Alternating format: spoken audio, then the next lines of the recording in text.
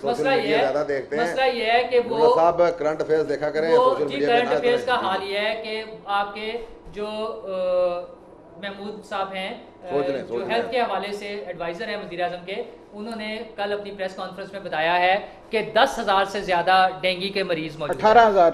اٹھارہ ہزار ہو گیا اچھا۔ جبکہ آپ کے پنجاب کے جو سینئر وزیر ہیں محمود رشید صاحب نے دو دن پہلے ٹی وی پر بیٹھ کر بحث کی انہوں نے کہا اگر پورے ملک میں آٹھ ہزار مریضوں کا پتہ چل جائے تو میں ریزائن کر دوں گا۔ صحیح کہہ رہے ہیں۔ ٹھیک ہے؟ اب اگر وہ دس ہزار یا اٹھارہ ہزار یا آٹھ ہزار سے زیادہ بہرحال ہے تو اب وہ کیا کریں گے؟ مسئلہ یہ ہے کہ ان لوگوں کو باتیں بنانی آتی ہیں۔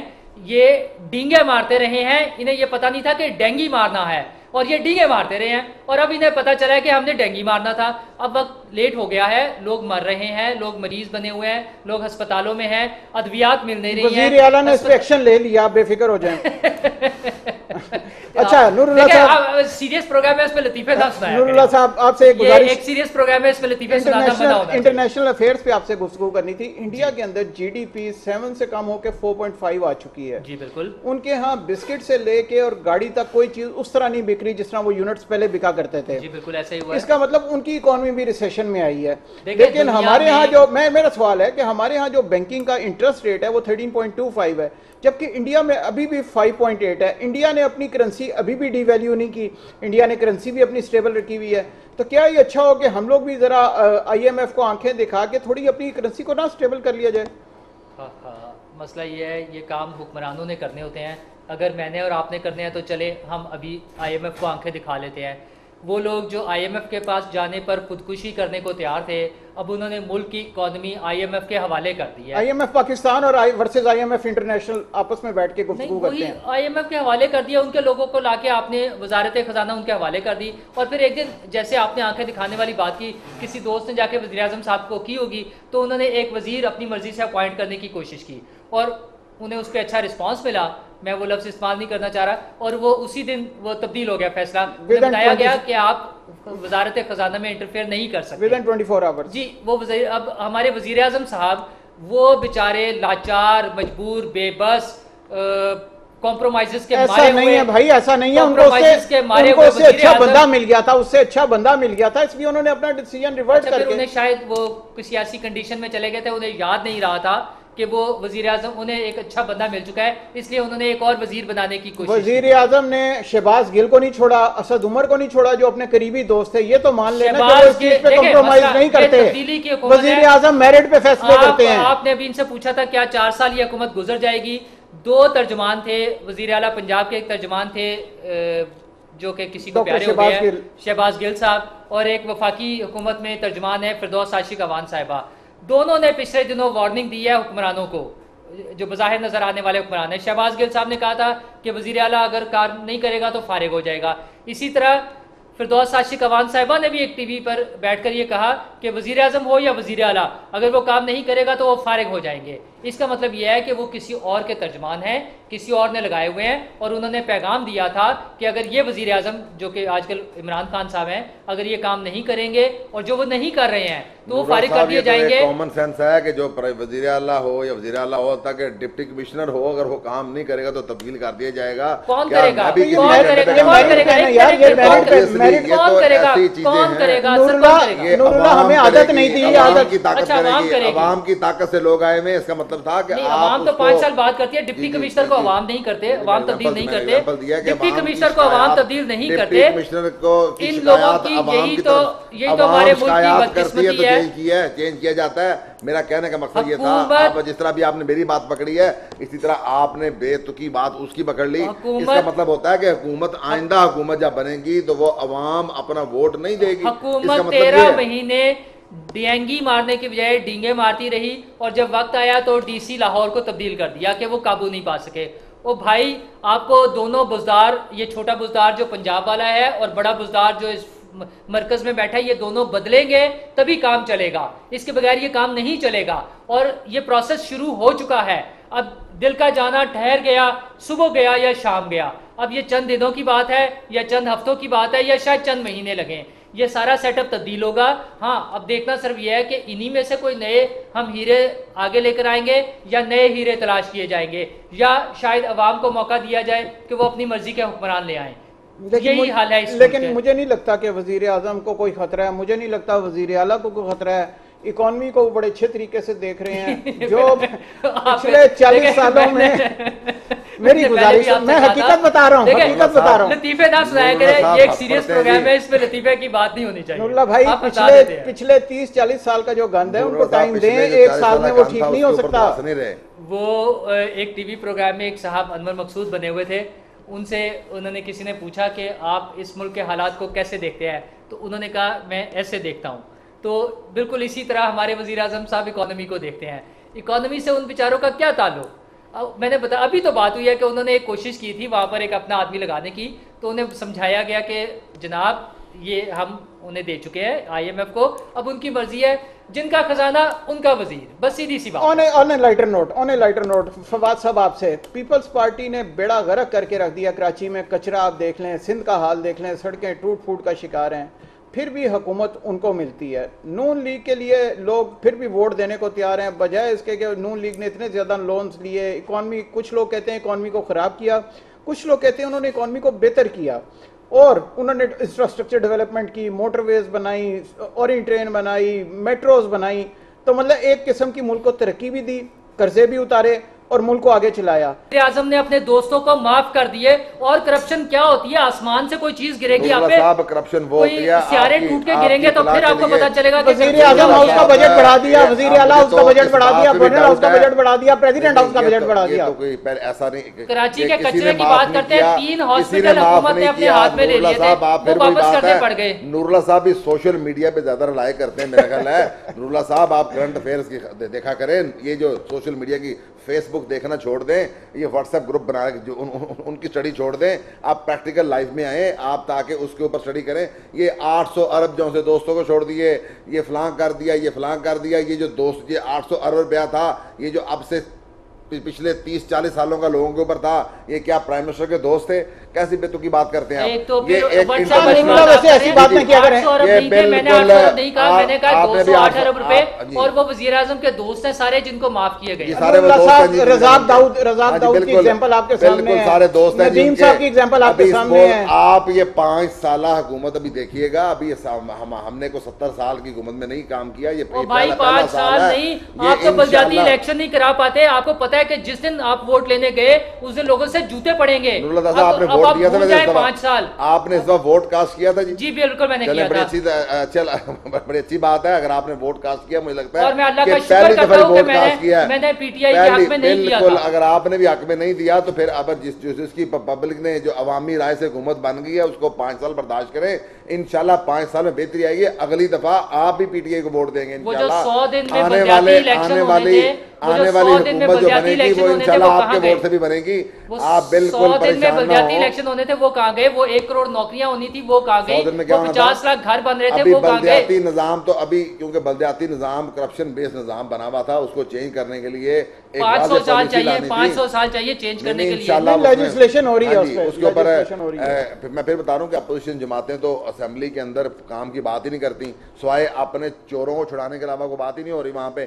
دونوں پارٹیاں اپنے باپ کو چھڑانے کے چکروں میں پڑی نہیں ہیں۔ یہاں پہ پالیسی میکنگ تو ہو ہی نہیں رہی۔ آپ لوگ پالیسی میکنگ کے اوپر بات ہی نہیں کرتے آپ بائک آؤٹ کر کے نکل جاتے ہیں اسمبلی سے باہر نکل جاتے ہیں۔ حالانکہ یعنی آپ کا خیال ہے آپ کا مطلب یہ پاکستان آپ کا کی مطلب جو یہ ہے کہ اپوزیشن پچھلی جماعتیں گورنمنٹ تھی پچھلی گورنمنٹ اپوزیشن تھی۔ جماعتیں وہ حرکتیں کرنے لگی ہیں جو پی ٹی آئی پانچ سال کرتی رہی ہے پچھلے پی دور ٹی آئی میں کی تعداد بڑی کم تھی نور اللہ صاحب لیکن حرکتیں وہی ہو گئی ہیں۔ سمجھتا ہوں کہ پی ٹی خیال آئی میں کی وہی تعداد کم گئی۔ ہونے کے باوجود اتنی اس کا ایک پریشر تھا کہ آپ لوگ میجورٹی ہونے کے باوجود جو دوسری جماعتوں تھی جن کو آپ سپورٹ کرتے ہیں ویسے آپ ڈیسائیڈ کر لیں کہ آپ تجزیہ نگار ہیں کہ نون لیگ کے نمائندے ہیں اگر میں ان تو کا یہ- نون لیگ ان کی کا میں نے یہ- کوئی بات ہی تو نہیں ابھی نہیں ابھی تو آپ حکومت کی حکومت کی بات آپ کسی میں نے پارٹی تو کو نون لیگ ریپرزینٹ کی بات ہی کریں نہیں کی۔ تو ایک تجزیہ کرنا آپ آج بیٹھے تجزیہ آپ کا کچھ ہوگا کل بیٹھے تجزیہ کچھ ہوگا آپ کسی ایک نہیں تجزیہ نگار کو یہ حق حاصل ہے کہ وہ۔ جس سائڈ پہ مرضی اپنا تجزیہ میں نے کرے۔ تو ابھی آج تو نون لیگ کی آپ بات ہی کوئی نہیں ہوئی نہیں نہیں آپ تو اسی طرح کہہ رہے ہیں کہ آپ لوگوں چوروں کے دماغوں ڈاکوؤں پر کو مشورے میں آپ شامل لوگوں کے کریں دماغوں پر چھائی لیگ چوروں آپ لوگ ڈاکوؤں خوف کو زدہ ہیں مشورے میں شامل کریں کیسے شامل کریں لیکن ان کی اسمبلیوں میں ابھی بھی تھوڑی تعداد کمپیریٹیولی ہماری جو اپوزیشن تھی اس سے زیادہ ہے لیکن انشاءاللہ پانچ سال حکومت پاکستان طریقے صاحب کی گزارے گی اور انشاءاللہ پانچ سالوں کے بعد تو دوبارہ یہ نہ ملک ہوگا نہ اسمبلی ہوگی خدا نہ نور اللہ، صاحب یہ حکومت آپ رہی یہ حکومت مثبت رہی تو آدمی پھر ہیں کچھ بھی نہیں مثبت سوچ ہوگا رکھیں مثبت اللہ۔ آدمی مثبت سوچ رکھیں انشاءاللہ بہتری آئے گی کوئک ون مولانا فضل الرحمان صاحب کہہ رہے ہیں کہ میں لاک ڈاؤن کروں گا اسلام آباد کا۔ کیا یہ موقع ہے کہ کشمیر پہ یہ معاملات چل رہے ہیں؟ نور اللہ صاحب کیسے دیکھتے ہیں؟ دیکھیں مولانا صاحب کے ایشو میں صرف ایک آ رہا ہے مسئلہ کہ وہ اس کو اگر مذہبی رنگ دیتے ہیں تو پھر تو بہت سی پارٹیاں پولیٹیکل پارٹیز اس کی حمایت نہیں کریں گی۔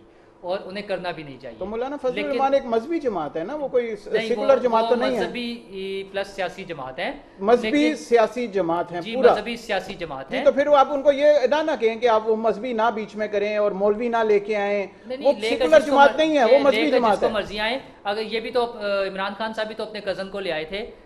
طاہر القادری صاحب جو کہ اب جنہوں نے ریٹائرمنٹ کا اعلان کیا ہے فی الوقت اس سے سیاست سے اور اس کے بعد باقی بھی بہت سے دھرنا گروپس تھے جن کی یہ حمایت کرتے رہے ہیں۔ مسئلہ یہ ہے کہ مولانا صاحب کے پاس طاقت ہے لوگوں کو لانے کی استطاعت ہے۔ وہ بہت سے لوگوں کو لا سکتے ہیں لاکھوں کی تعداد تو اس کا فائدہ کشمیر کو بہت جائے نا بجائے اس کے سے اس کا کیا تعلق؟ ہے آپ مسئلہ یہ ہے کہ حکومت کو کسی کی فکر نہیں ہے۔ حکومت نے جب ڈکلیئر کر دیا کہ کشمیر کا مطلب آزاد کشمیر ہے وزیر اعظم بار بار کہہ چکے ہیں کہ اگر بھارت نے آزاد کشمیر پر حملہ کیا تو ہم اس کا منہ توڑ جواب دیں گے۔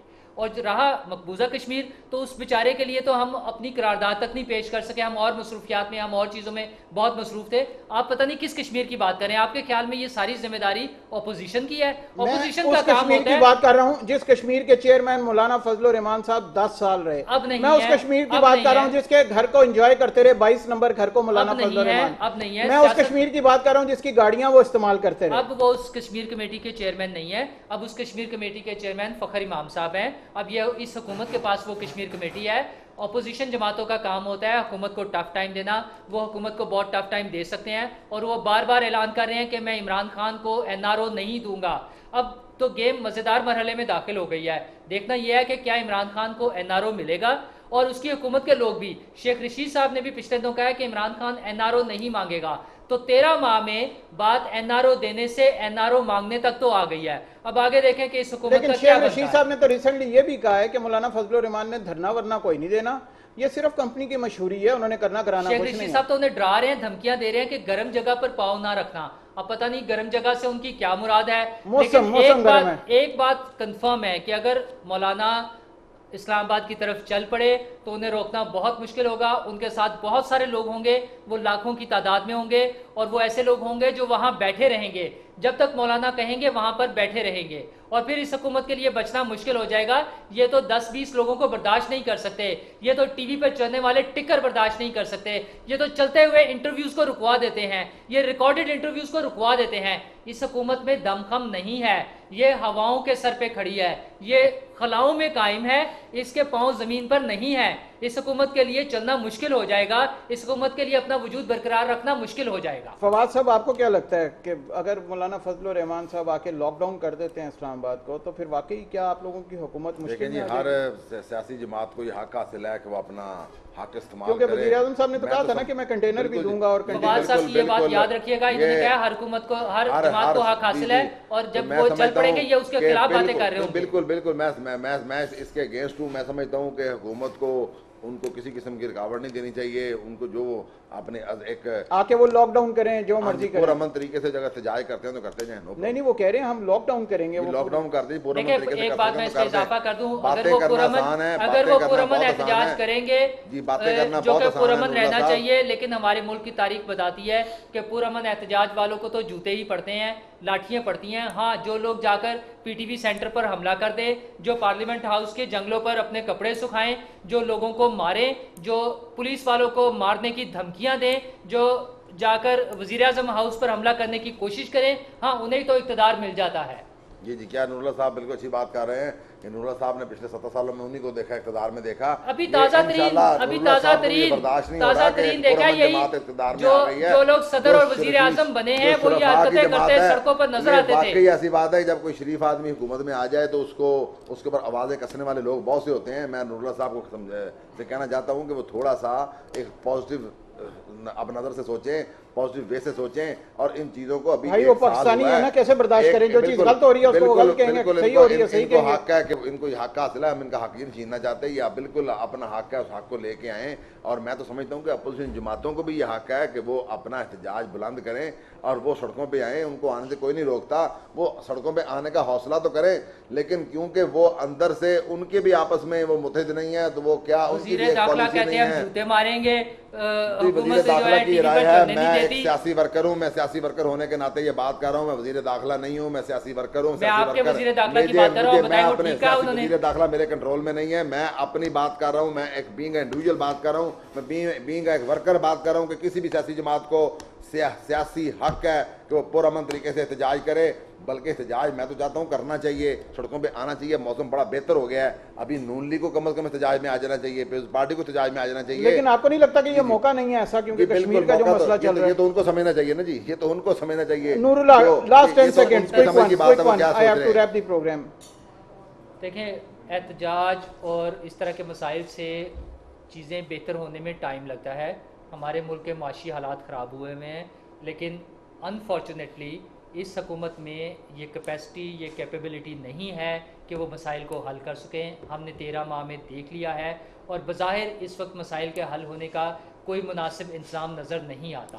اس میں صرف. کوئی تبدیلی کی صورت ہی ہوگی کہ جس میں شاید کچھ حالات 10 بہتر سیکنڈز جی انشاءاللہ یہ جو یہ جو سال چل رہا ہے یہ جب یہ یہ والا بجٹ ایئر چل رہا ہے اس بجٹ ایئر کے بعد آپ دیکھیے گا کہ بہت سی بہتری کی طرف چیزیں جائیں گی میں اپنے مہمانوں کا بہت شکر گزار ہوں کہ انہوں نے آج کی گفتگو میں ہمیں سیر حاصل ان نالج بھی دیا۔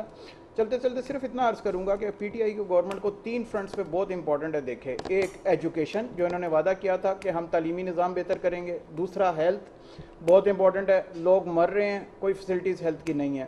اور تیسرا اکانومی جب تک لوگوں کا روزگار بہتر نہیں ہوگا، یہ چیزیں بہتر نہیں ہوں گی۔ آپ کو چاہیے کہ آپ ڈالر کو واپس لے کے آئیں ایک سو پچیس، تیس تک، جو اس کی اصل جگہ ہے۔ اس سے اوپر ڈالر ہمارے یہاں ہونا نہیں چاہیے۔ اس کے اوپر ضرور سوچیے گا۔ پروگرام پہ فیڈ بیک دینا نہ بھولیے گا۔ انٹل نیکسٹ ٹائم اللہ حافظ۔